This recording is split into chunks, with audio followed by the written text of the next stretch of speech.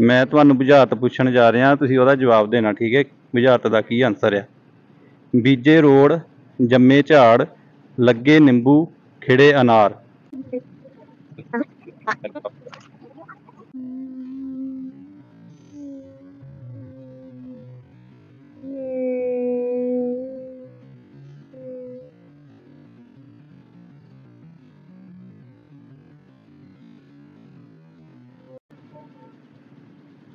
ਤੁਸੀਂ? ਅਮ ਜੀ ਦੱਸੋ ਕਪਾਹ ਵੈਰੀ ਗੁੱਡ ਹੂੰ ਸ਼ਾਬਾਸ਼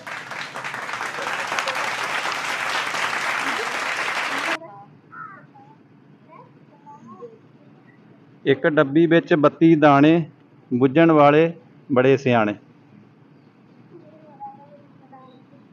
ਮੈਨੂੰ ਪਤਾ ਆਉਂਦਾ ਤੁਹਾਨੂੰ? ਦੱਸੋ ਕੀ? ਨਹੀਂ ਪਤਾ। ਤੁਸੀਂ ਦੱਸੋ। ਦੰਦ। ਸ਼ਾਬਾਸ਼। ਡੱਬੀ ਮੇਰੀ ਬੱਕਰੀ ਡੱਬੀ ਉਹਦੀ ਛਾਂ। ਚੱਲ ਮੇਰੀ ਬੱਕਰੀ ਕੱਲ ਵਾਲੀ ਥਾਂ।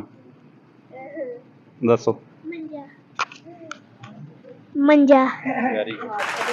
ਸ਼ਾਬਾਸ਼।